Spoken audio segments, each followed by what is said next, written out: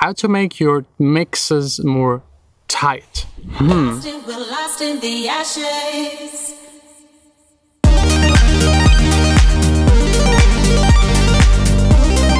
Welcome to another day in the studio. I rearranged a little here in my gear.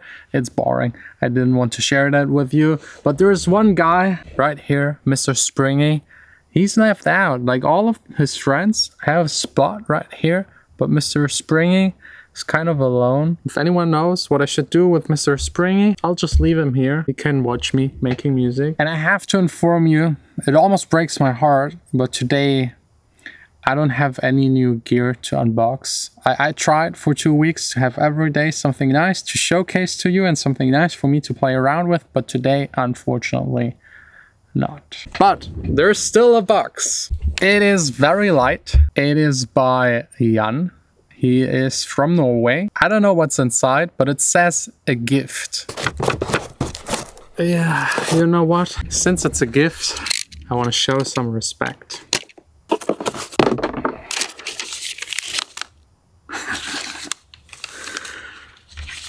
Just wanted to thank you for your daily vlogs. Thanks to you for this nice present.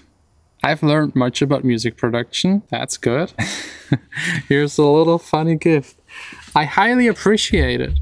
Like that's that's amazing. It wobbles a little.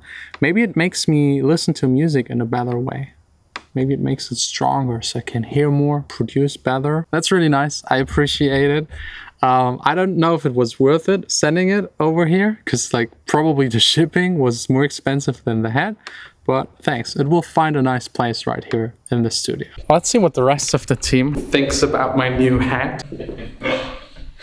That's what was inside the box. Awesome. Yeah, perfect. That, that was absolutely worth. Yeah, the shipping. Yeah. I'll wear it today. That's cool. Anyway, so it's Monday. It's a busy day. Done mixing and mastering for someone else. If you're interested to get your songs mixed and mastered, especially now that I hear even more, just like first link in the description, just hit us up. And I think it's time for a good old classic Q&A today. I have to be honest, I wasted a lot of time today with the equipment and I, I have to finish, or not finish, but at least get two songs to a certain point to send them out to a big label. They're interested in those songs. And I really need to nail that because that might be the next big thing for me. So yeah, life is getting in the way vlogging. First question, do you have enough gear? No, never, never ever. Even if I would own Thomann and the music store and every piece of vintage gear, it would be probably still something I need. Ever heard of the Vector synth? No. That thing is crazy, you gotta look it up. Please, no, don't suggest me more gear. Have you ever used any other DAW than Logic? Yes, I've used Reason at the very beginning. It was my first, yeah, it was my first DAW I ever owned. I mean, I didn't own it. I illegally downloaded the demo version and cracked it, kind of like back in the days. Like, didn't have any money. And I then, pretty fast, I switched to Logic and ever since stayed. I think Logic 6 or 7 was my first version. Do you use Melodyne? Yes, if necessary. Do you recommend any other programs to pitch vocals? Usually the built-in ones by the DAWs are fantastic. What about EQing your speakers? Yes, you should. If you can, on the back usually you can tweak the speaker. I have it here on the front. The speaker right here has like a bass cut of 5 dB and a high high frequency cut of minus 1 dB just to make it work better in the room. You just measure with your measurement mic and then dial in the settings to get as close as possible to having flat frequency response. So with the EQing of the speaker, you can help a little, a little, just a little. Will you ever retire? no. What is better, an untreated room or mixing with headphones? Hmm. It really depends on how bad your room is. Every room is different. If it's really, really, really bad, then maybe the headphones. I would still prefer mixing on speakers and just getting used to the problems the room has. So um, yeah, totally up to the situation and your preference. Tips for finding your own sound. Finding your own sound, just don't worry too much about it. Just make music, just get inspired by other people, combine the things you like, and you'll end up with your own sound eventually. Which plugins have you removed in the past week or decided not to use at all? Uh, funny. I don't know how he or she knows that, but I actually maybe I talked about it. I I deleted a lot of stuff that I just don't use. I felt overwhelmed with plugins. Like a lot of companies sent me plugins for free, and then I'm like, yeah, let's try them, and then I don't use them. So um, yeah, I got rid of I'd say like 40 to 50 percent of my plugins. So maybe I'll do a video very like in, a week or two showcasing you the ones that stayed and why they stayed. Will you ever tell what's inside the secret room? Maybe. Like the latest, when I have to leave the studio, I'll show it to you. How much will the Jon Sine Masterclass cost? Yeah, I'm doing right now, or I actually filmed already the first two hours of me making the new song with Salvo called Bad Dreams. I filmed it like without a pause in between, so it's me producing kind of live without cutting or editing. So you get a really deep insight into my working process. And it will be soon out on Fader Pro, probably a month, two or three. How much it will cost, I don't know. They handle all of this kind of stuff. I only know how much I get, how much I get, like how, the cut that I get.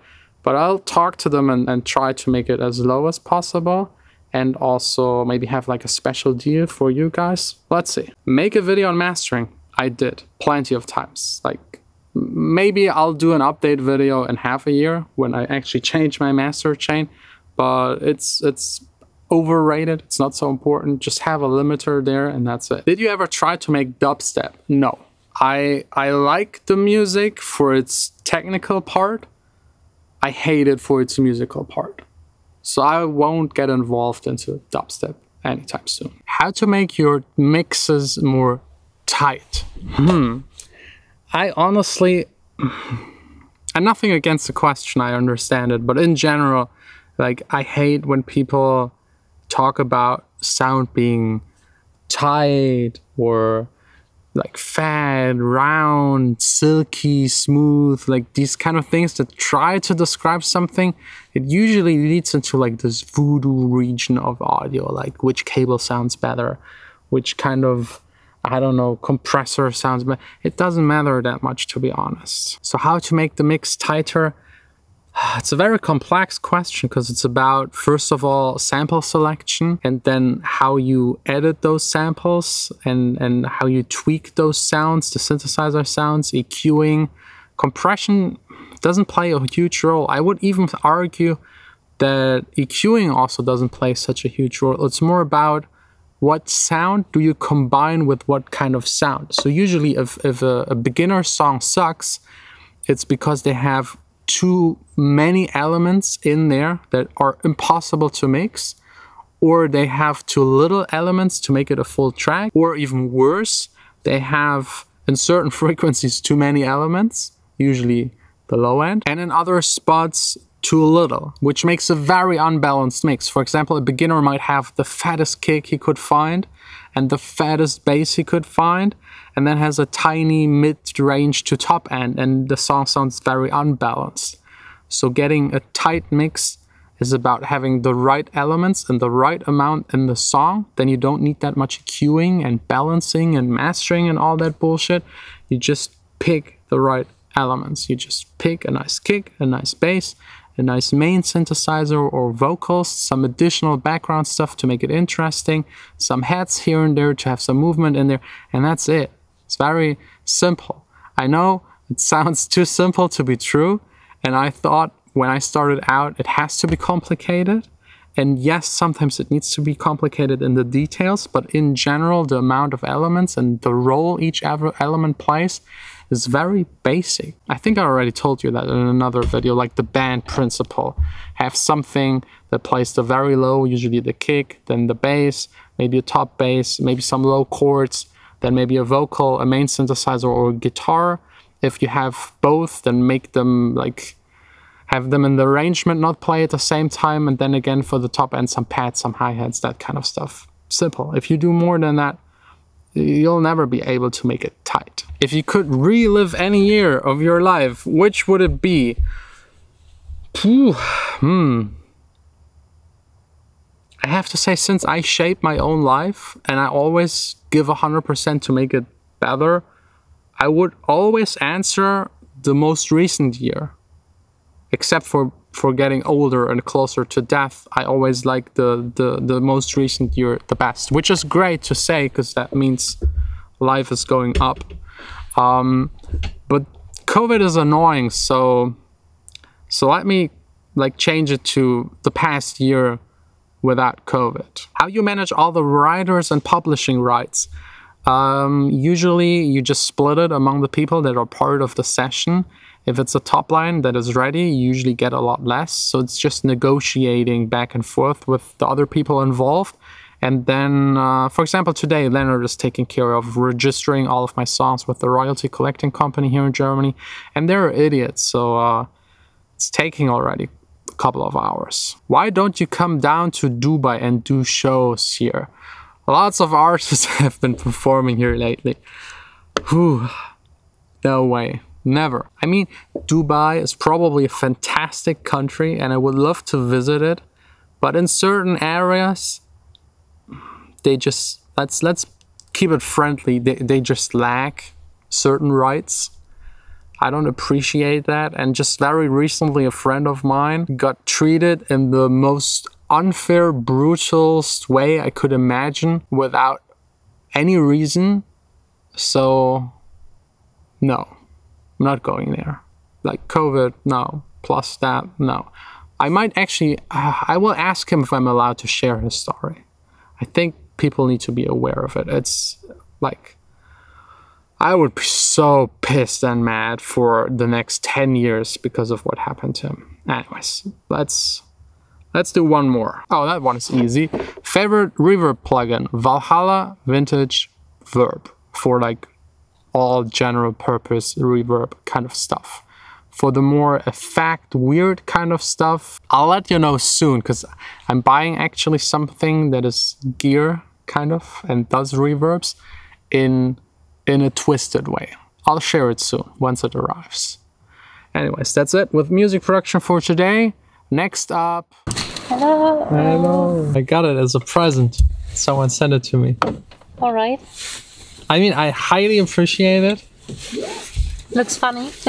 but I was like, hopefully, hopefully, snacks. but Last no time, snacks. no snacks. I had no. snacks. Oh, perfect. Which one you you got? Yeah, the bigger one. Best girlfriend ever. And today is Women World. What what was it? World, Women World Day. Yeah. So you got me something? I don't know. Is it Well, I'm getting you something Yeah, that's to that's. to prove it's Women World Day. yeah. Do you remember that one time we got Nutella? Mm-hmm. I You was got Nutella. I was expecting Nutella. But it was creepy. Someone sent it to our home, and that address is not public. But if you want to send me something, Please go ahead. yeah. Hmm. Gear and snacks, always appreciated. And funny stuff as well. Address is in the description.